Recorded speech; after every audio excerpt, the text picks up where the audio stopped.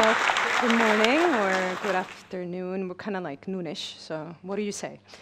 Um, it's amazing how when you get on stage, you have to use the bathroom. really. And I just went, so it's. And I also had a few friends of mine that are here, and I'm very grateful. Uh, they know that I had a rough morning. I'm still half, okay, I'm half awake at this moment. Before I was half asleep, which is a good thing, because if I freeze and I have a panic attack, that means I woke up and I realize that I'm speaking in front of a hundred something people. I'm not the best public speaker, so bear with me. Um, so I enjoyed our coffee, and I really needed a second cup of coffee today. And I had a pleasure meeting a few of you, and thank you for coming. And uh, since we were talking about risk today, I want you all to have a round of applause for Marina for taking a big risk. because, you know, who would have thought, right? TED, Nicosia. I mean, TED Cyprus, because I'm not from Nicosia, so you know, I'm proud not to be from Nicosia, and please don't kill me. Uh, I'm from Limassol, and I enjoy it. I know there's some of you out there. and uh, I know there's this thing going on that oh, I'm not supposed to leave the circle, by the way. This is this thing going on how uh, we're such a small island, but we all have to stand from the town we, we come from. There's this pride, right? So if you're from Nicosia, you don't like Limassol, and you're from Limassol, you don't like Nicosia. And ironically, most of you that are here today that are not from Nicosia, one way or the other, you come to this city every day. If it's not every day, it's once a week, it's once a month, it's for business. And at the end of the day, we're all from the same place, and we're all, we all have the same DNA, which is Cypriots, whatever that is, which is a different debate, and we're not going to talk about it today. but meeting of you, some of you out there, uh, today on the break and this morning, I heard this one question, which I hate. And I'm very sorry if I was rude to any of you while you know, we're having coffee outside. There's this question that I don't like that when people ask me, because I feel like they put me in a frame and they stereotype what, who it is that I am. And that question is, what is it that you do? What do you mean, what do I do? I know they're asking me what my profession is and they expect a normal answer. The funny thing is, if I actually answer what it is that I do, which is I'm a film producer, people still look at me like, and what is that? Because nobody knows. I mean, how many of you know? But what I don't like about that question is that before you even get to know anybody, be- before you understand who they are and where they come from, you have to put them in a category. And depending on that answer, you get a reaction, which that's the funny thing. If you sit back and watch people do that, so you have a lady, let's say, or me, and say, So what is it that you do?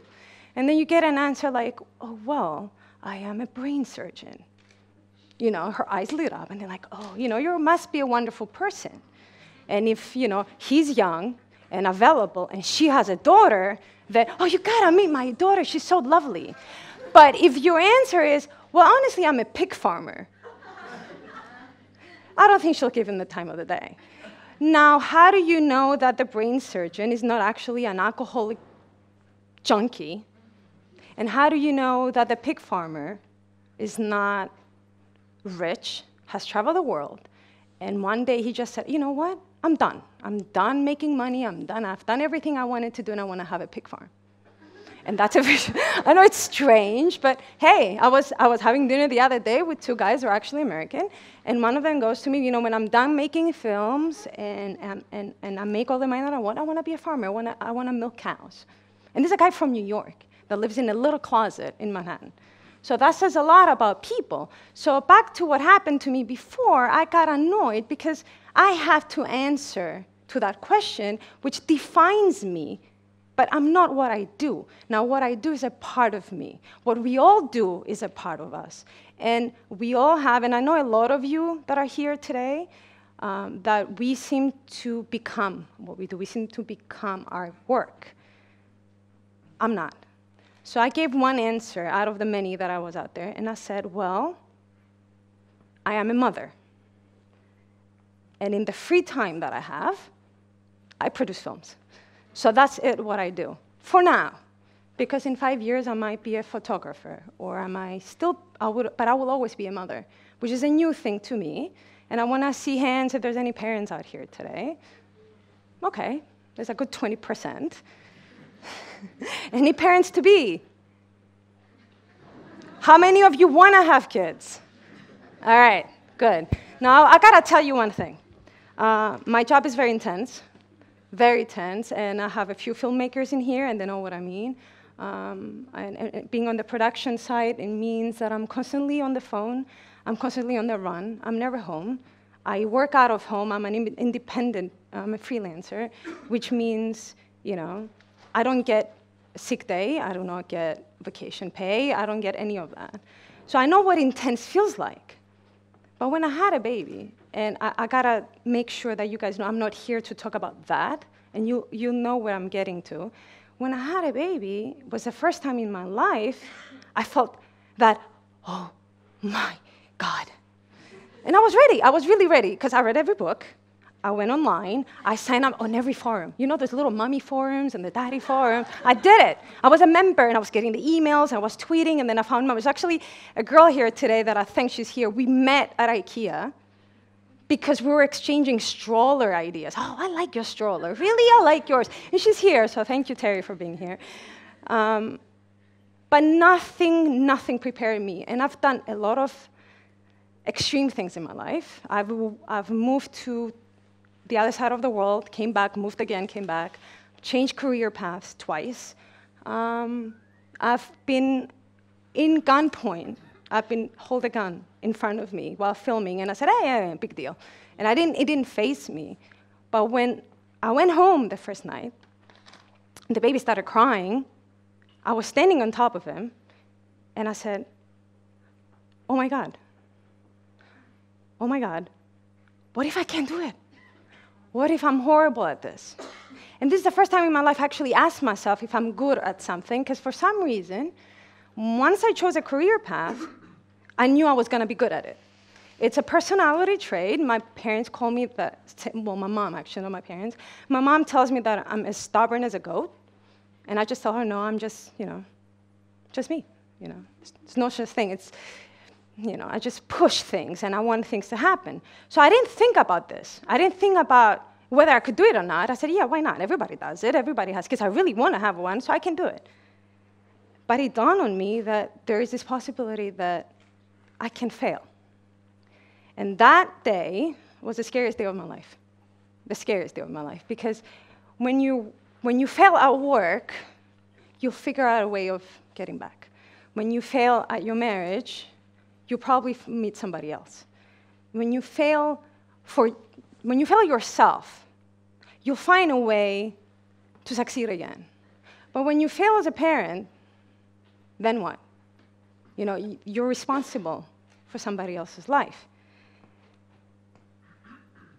So I realized that all this talk about your life changing when you, you're a parent is all BS. Because it's not your life that changes, it's you. You change. Because up until that moment, I lived for myself. I'm surprised I was still married, tell you the truth, and the guy never walked out on me. Because all I did was work, work, work, work. And I'm a workaholic, and I'll admit it. I, am addicted to my work. I'm addicted into working. I could be changing career paths, but I'm still addicted to it. So, in that sense, all of a sudden I had to do all this. I had to stop and realize who I am know who I made myself to be and who other people think I am. For example, my friend Christo is here at the audience that I've known since high school. When we were outside this morning, he asked me how I'm feeling, and I said, I don't know, I'm stressed. And he said, That's not the Maria I know. That's what you said. And because he has a perception of me of being strong and independent and fearless, which I was. I was very fearless, especially when he knew me in high school. But uh, I'm not really that person. That's what I let people see.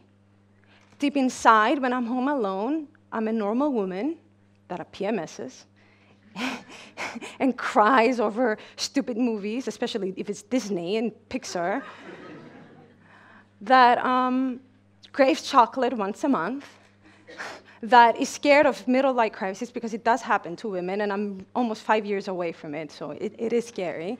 And I don't know what's gonna happen to me. I don't know. Maybe I'll move to, uh, I don't know, Japan and become, I don't know, learn how to make tea. But um, I had to realize, and within that realization, I realized that it's not the first time that you do that. It's just, it was for me, it was, okay, I, I gotta make myself, it was the first time I realized that I'm realizing who I am. Because obviously I've done it before. When I decided I wanted to travel the world, it was a realization that I have that need as a person. When I decided my career path, when I decided to leave New York, which I got that, what? You know, and when, when I had to tell people that I decided to leave my corporate job and, you know, uh, endure in the freelancing and take all those risks that most people do when they leave a secure job. It was within inside that I said, this is not who I am. I need to be the true me.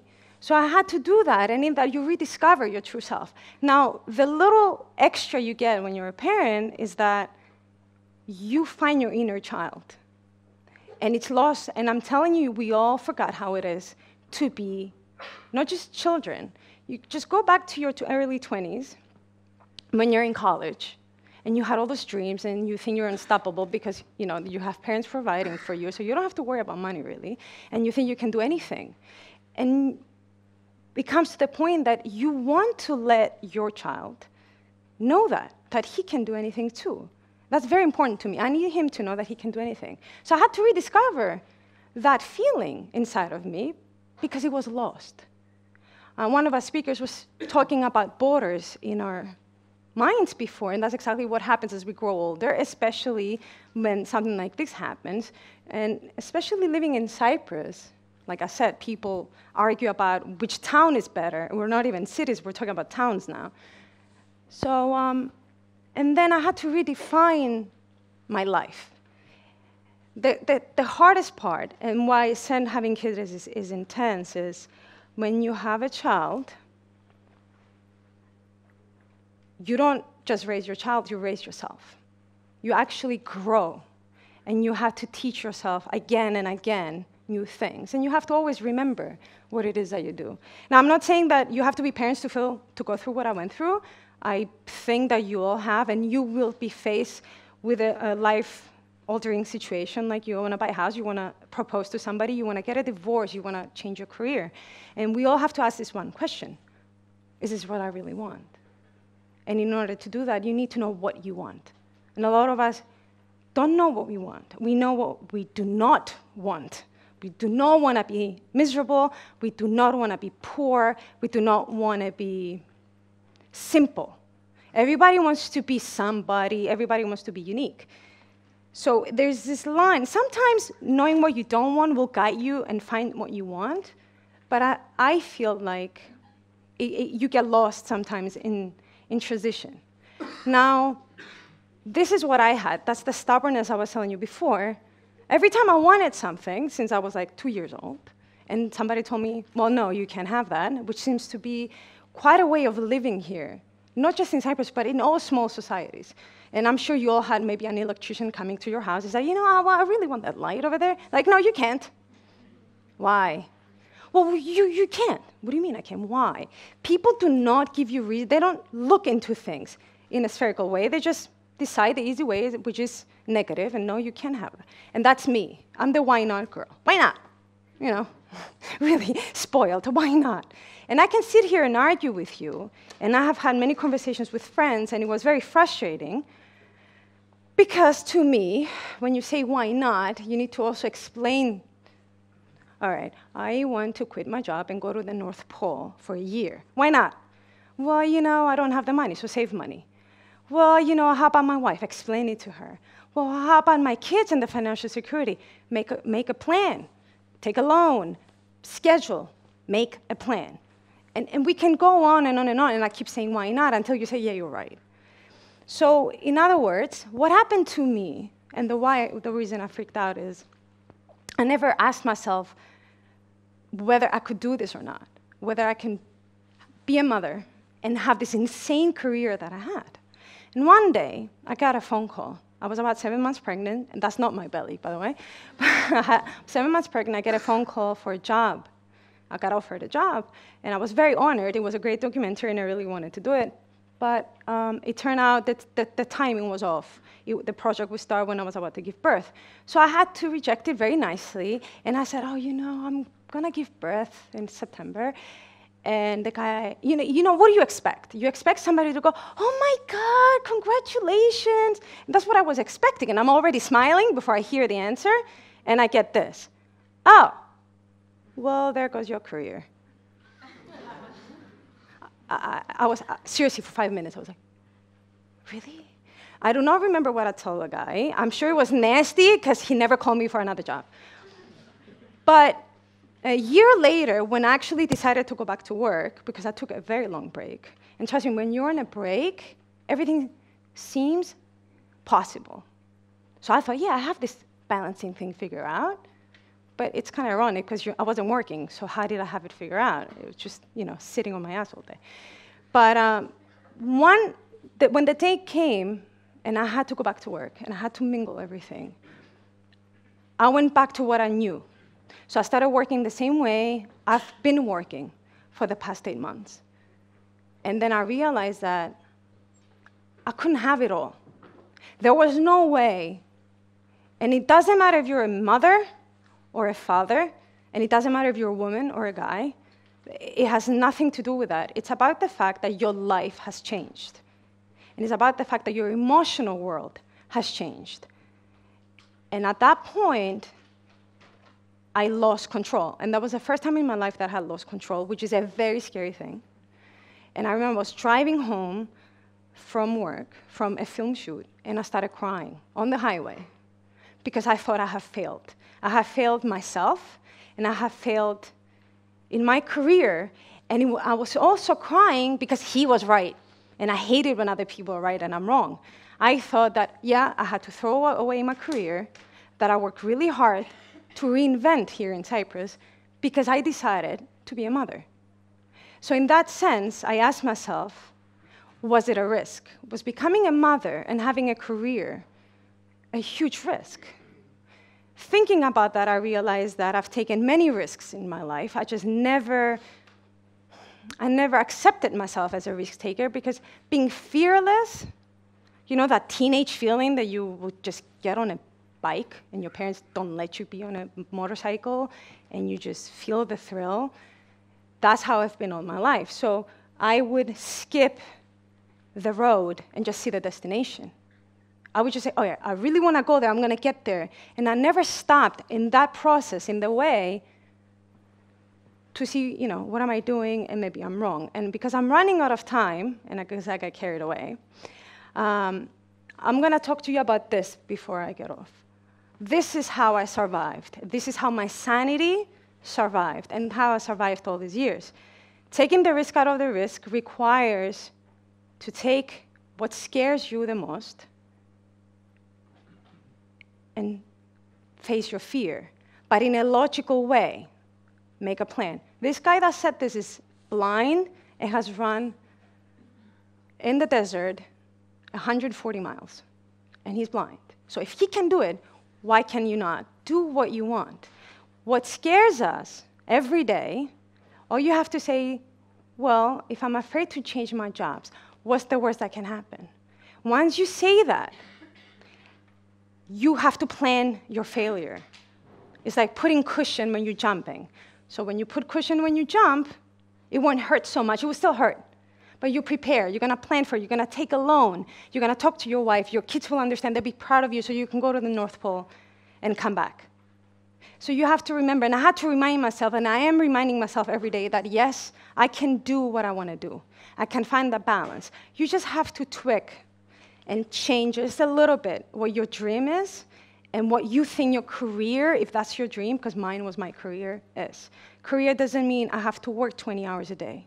Career does not mean, and happiness does not mean that I have to kill myself. So somebody will think of me when I tell them that I'm a film producer, that I'm successful. To make careers makes me happy and gives me special moments in my life. So if you think of our life as a, as a road, as a forest, and, somebody, and your dream is to plan the perfect road from point A to point B. And you don't want to cut down any trees, and you don't want to have a curvy road. That's almost impossible. But if you give in a little bit, and you cut a tree or two, and you put a curve or two, you have a perfect road and a very beautiful one. So to be alive and manage life, we have to take risks. And I'm not talking about jumping out of planes. Maybe some of you do it, and, and bravo. But I would never. But the little things, the little things in life that are risky, even being here today on this stage, for a lot of us is a risk. So all the speakers here are here risking their reputation, let's say, or their self esteem by doing it. You guys taking the day off to come here was a risk because you don't know if your boss will understand. There's a lot of little things in life. But if you take it, the risk out of the risk, if you're stop being afraid of it anymore and you plan it out, whether that's motherhood or a divorce, whether it's a career change or just going for coffee because you never have coffee in your life, it will make it easier. Failure is okay as long as you are ready for it and the worst thing that can happen is never as bad as you thought. Thank you.